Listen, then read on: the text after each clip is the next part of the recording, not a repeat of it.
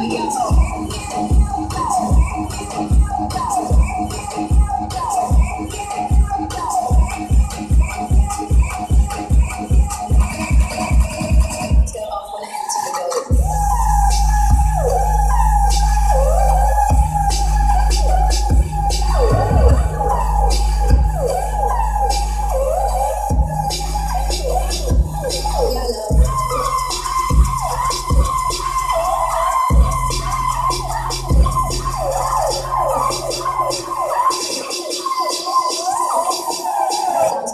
enter the building.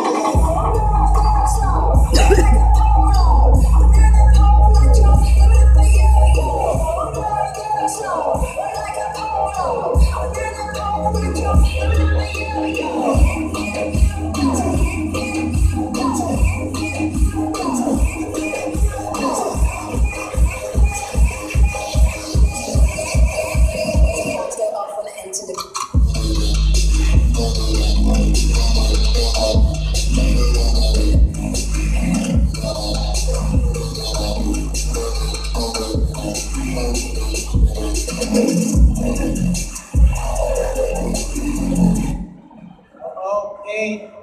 Thank you, Jay.